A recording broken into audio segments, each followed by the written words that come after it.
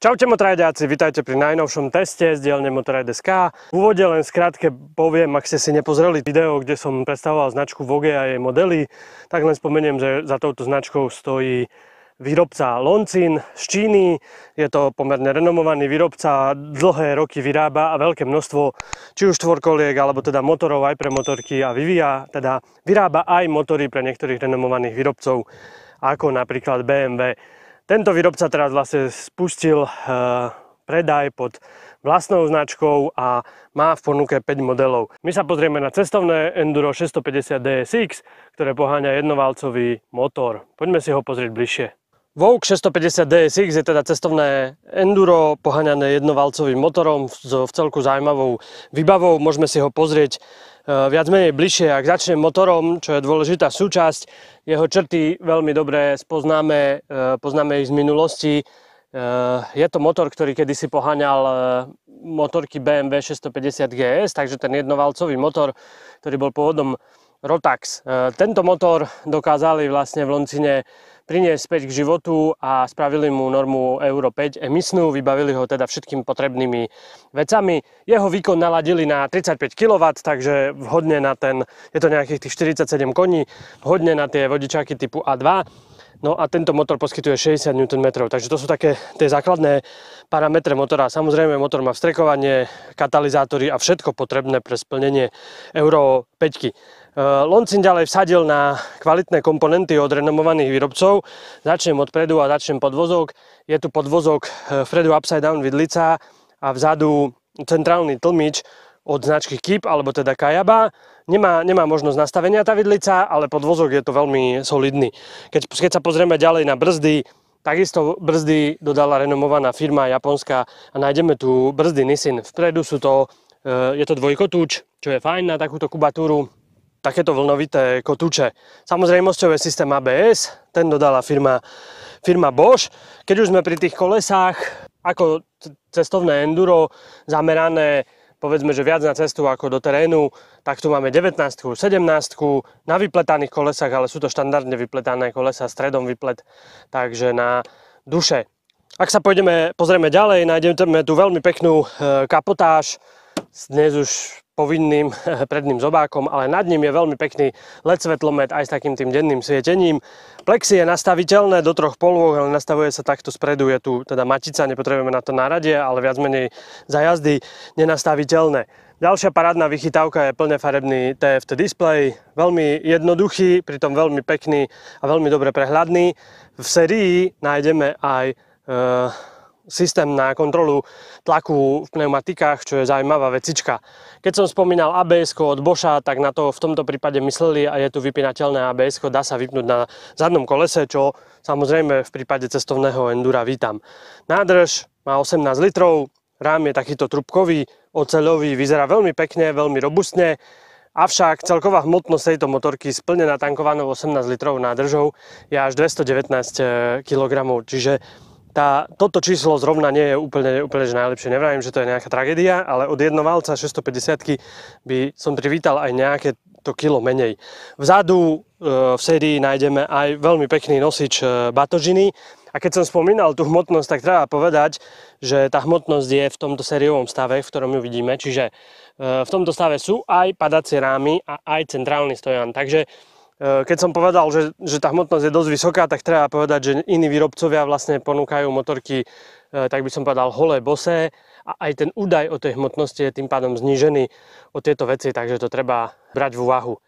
Inak Vogue zaujme veľmi pekným spracovaním. Musím povedať, že tak ako na každú jednu čínsku motorku som sa pozeral kritickým pohľadom, či už ovládače, či už samotné riaditka, tieto odliadky. Všetko to vyzerá veľmi solidne, veľmi robustne. Spomínal som už rám, veľmi pekné sedlo s prešívaním, dva materiály, takisto sedlo spolujazca, hliníková kývka, prepákovanie, stupačky, radička. Všetky tieto veci, detaily sú podľa mňa veľmi pekne spracované. Skúmal som to všelijako, samozrejme v základe teda je ešte aj kryt spodku motora. Veľmi, veľmi dobré zapracované tieto diely. Celý výfukový systém je nerezový, Takže nielen to dobre vyzerá, ale je vidno, že čo sa týka tej kvality, dali si na tom záležať. Bez nejakej hamby poviem, že keby sa značka Vogue prekryla akýmkoľvek japonským alebo povedzme aj európskym výrobcom, tak by tá motorka sa mohla rovno postaviť vlastne do showroomu a ponúkať pod akoukoľvek inou značkou.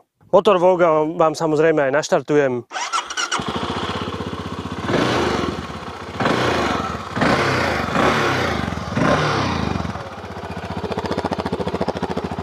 Tlmič výfuku je mohutný, spomínal som, že to splňa teda tú Euro 5, takže tam sa asi najviac popracovalo v tejto časti. Inak ten zvukový prejav je typický, veľmi pekný, dunivý zvuk veľkého jednovalca. So zavretými očami by hoci kto mohol povedať, že počuje práve pôvodný e, motor BMW 650. Tak na motorku sa môžeme pozrieť aj z druhej strany. Znova tu máme pohľad na motor, ktorý z tejto strany je trošku viacej odkrytý. E, veľmi pekne spracovaný trubkový rám. Je tu tento kryt e, spodku motora, čo je fajn. Tu vzadu si môžete všimnúť, že pod motorom je ťahaný ten výfuk. Trošku tam teda vytrčá a znižuje tú svetlú výšku. Veľmi pekný, oceľový, robustný vlastne pedál e, brzdy.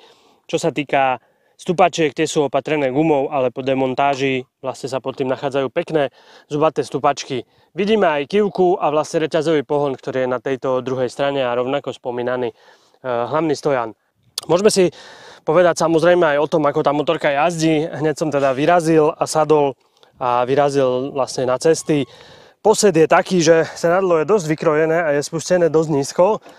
Uh, ja 182 cm chlap bez problémov obidvomi nohami dosiahnem. Uh, nie je to ale úplne, že najnižšie. Pre nejakých nižších jazdcov môže byť predsa len trošku v tej výške uh, sedla problém. Sú aj motorky, ktoré to majú nižšie, ale inak akože vo svete cestovných endur je to pomerne že nízko. Ten posed je teda taký orientovaný hlavne teda na to cestovanie a na, na to jazdenie po ceste. E, sedím dosť v tej motorke a pred sebou mám ešte e, túto nádrž. Veľmi príjemný a veľmi dobrý je prejav toho motora, aj keď má len tých 35 kW, má 60 Nm, čiže typické, veľmi zábavné jednovalcové vozenie, kým sa jazdíte do tých povedzme 120, tak ten motor sa dá krásne využívať. Je tu len 5 kvaltová prevodovka, čo som bol trošku prekvapený. Netrúfam si povedať, že, že nejako potrebujeme tú šestku, o to menej by som povedal, že človek radí. Samozrejme tá peťka je tak naladená, ako by bola nastavená šestka. Tá motorka bez problémov jazdí 130-140 na diálnici a to všetko pri takých normálnych vibráciách. Motor má mm, asi aj pravdepodobne nejaký vyvažovací riadel, pretože tie vibrácie e, nie sú nejaké vysoko otravné. Samozrejme, keby som išiel viac ako tých 130-140, dlhší čas po diálnici, už cítiť nejaké vibrácie aj v stupačkách. Sú pomerne veľké závažička, takže e, v tých riaditkách ani tak nie, ale je to typické už vozenie na jednovalci. Nie je to teda na naháňanie sa po diálnicach. Keď sme na, na okreskách, sa s Vougom jazdí vynikajúco, ten motor je proste točivý, má vždy dostatok krutiaku a má taký ten, má taký ten raz, má taký ten fajný, príjemný ťah za plynom, ktorý vás strašne baví a potom, potom sa vozíte. Čiže jeho domena určite je v tomto zmysle. Vďaka tomu krutiaku si myslím, že Vogue vynikajúco stávaný aj pre spolujazca. Samozrejme, pokiaľ to bude turistická kochačková jazda, je tam dostatok výkonu e, na nejaké športové naháňanie to určite nebude. Spolujazdec má veľmi pekné a pomerne aj nízko stúpačky a takisto aj rozmerné sedadlo v sérii pekný nosič na batožinu, takže je to pripravené. Čo sa týka mm, tej turistiky, super sú aj tie padacie rámy, určite môžu niekomu pomôcť, ak sa prípadne vybere s tým aj do terénu, respektíve aj nejaké tie mm, malé problematické situácie na asfalte môže, môžu tie padacie rámy pomôcť zachrániť a je super, že ich vlastne nemusíte kupovať. Čo sa týka výbavy, tak je tu ten plne farebný displej, má aj konektivitu Bluetooth. Tu som neskúšal, neparoval som si to telefon, s telefónom, pretože som nemal čas, ale malo by sa dať teda telefonovať a prijímať tie hovory. Využíval som iba čistotu prístrojovku. Nemáme tu žiadne jazdné režimy, nemáme žiadnu trakčnú kontrolu. Trakčná kontrola super, tu nepotrebujeme na takúto motorku vynikajúca vec. Z elektroniky oceňujem vypínateľné ABS, samozrejme, keď som vybehol do toho terénu. Čo sa týka prístrojovky, dostatok informácií, hodiny, stav batérie, teplota motora aj v číselnej podobe, aj ten e, posúvač, e, nejaké tie tripy. Ovláda sa inak prístrojovka priamo tlačidlami na nej, není to nejako na riaditkách. E, ukazuje nám to tú priemernú spotrebu, takže aj taký ten základný palivový počítač. Ak sa teraz pozriem, tak priemerná spotreba počas môjho testu je 4 litre na 100 km, čo mi ukazuje teraz palubný počítač. Výrobca udáva 4,2, čiže medzi 4 a 5 určite tá motorka jazdiť bude. Čo sa týka ochrany pred vetrom, mal som plexi aj v spodnej polohe, potom som si ho dvihol do tejto vyššej.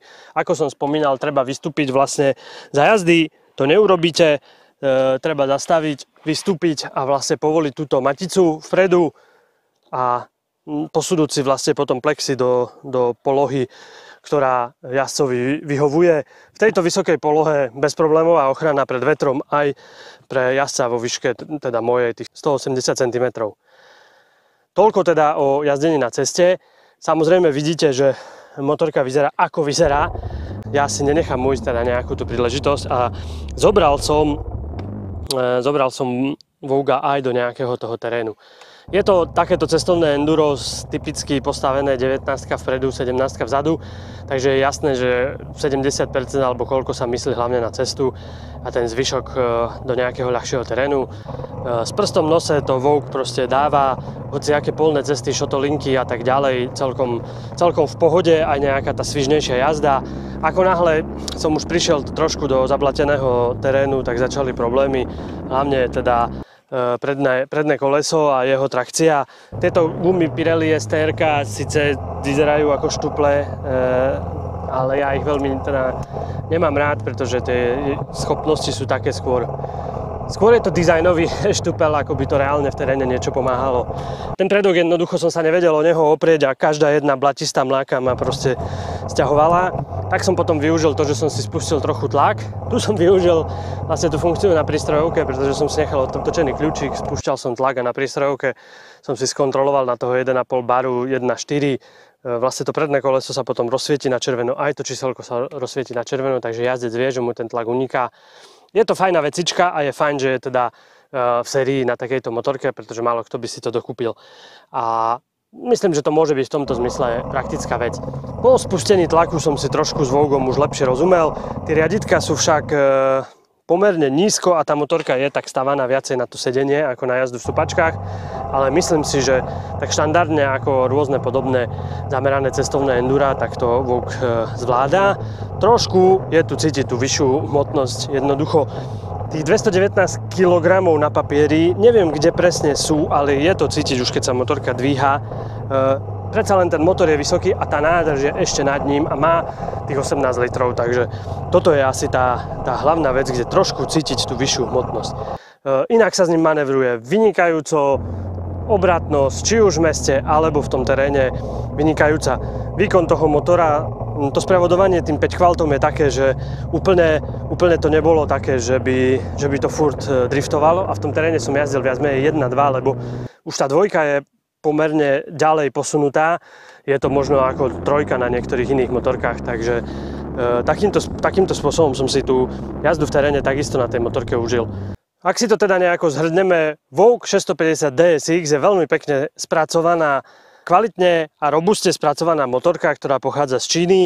Má podľa mňa veľmi pekne vydarený dizajn, rôzne detaily, niekoho možno potešia aj tieto smerovky ale Audi povedal by som, ja úplne, že nie som fanúšikom takýchto vecičiek, príde mi to zbytočné, ale e, budíš, má veľmi slušnú výbavu, veľmi dobré komponenty a ten jazdný prejav je úplne porovnateľný e, s akoukoľvek, povedal by som, európskou alebo japonskou značkou. Samozrejme, Číňania vedia postaviť aj lacné veci a možno aj menej kvalitné, ale vedia postaviť aj kvalitné záležitosti a samozrejme potom od toho sa odvíja aj cena. Tu proste nájdeme komponenty od renomovaných výrobcov Bosch, Nissin, Kayaba e, a tak ďalej. A to sa teda prejavilo aj na tej cene, plus tu máme fakt bohatú výbavu, čo sa týka tých lediek, nastaviteľných páčok, padacieho rámu, senzorov, tlakov pneumatik a tak ďalej. Čiže plne vybavená motorka, určite vás zaujíma jej cena, mala by sa hýbať pod 7000 eur. Ak by som mal povedať teda nejaké klady, tá cena, ako som spomínal, nie je úplne že najlacnejšia, ale si myslím za to, čo táto motorka ponúka, je to veľmi dobré, veľmi rozumne postavená cena. Ak niekto, niekoho láka napríklad ten jednovalec, toho BMW 650 a dneska tie motorky majú už aj 10 rokov uh, a nevie nájsť možno dobrú jazdenku, tak toto by mohla byť jedna záležitosť, uh, na ktorú by sa mal pozrieť, pretože je to v podstate veľmi, veľmi podobná motorka. Uh, ak by som mal spomenúť teda nejaké nevýhody, tak ja asi jedine, jedine tú, tú hmotnosť, ktorá je trošku vyššia tam ale hovorím, že platí, tá 650 napríklad mala vlastne e, to palivo centralizované aj dole vlastne pod e, sedadlom a v tej zadnej časti, takže ho nemala takto vysoko, takže možno aj preto bola pocitovo tá motorka ľahšia. Tu je to palivo hore tá hmotnosť 219 kg by teda mohla byť lepšia. Inak na tejto motorke neviem nájsť nejaké výrazné nedostatky. Jazdilo sa mi na ňom veľmi, veľmi dobre. Užil som si ten týždeň v sedle. Či už som vybavoval nejaké veci v meste, veľmi obratná mestská motorečka a podobne aj na tých e, shotolinkách alebo na takýchto polných cestách. To bolo úplne, že bezproblémové jazdenie. Možno to není na takú rýchlu športovú jazdu v tom teréne, to určite nie. E, tá motorka je viacej zameraná na cestu ako do toho terénu, ale je to taký dobrý a zdravý univerzál. Takže toto je také moje hodnotenie tejto 650 Týmto by som samozrejme chcel poďakovať importérovi tejto značky. Je to firma Gorex, ktorá na trhu československom pôsobí už dlhé roky a to hlavne importom eh, štvorkoliek Stealth a Goes a vlastne takýmto spôsobom sa dostala, ako Goes začal spolupracovať s Loncinom, tak aj ku tejto novej značke Vogue. Takže poďakovanie im No a ako vždycky ďakujem aj vám, že sledujete naše videá a že sledujete Motoraj.sk. Tak vás pozdravujem a vidíme sa na cestách. Čauko!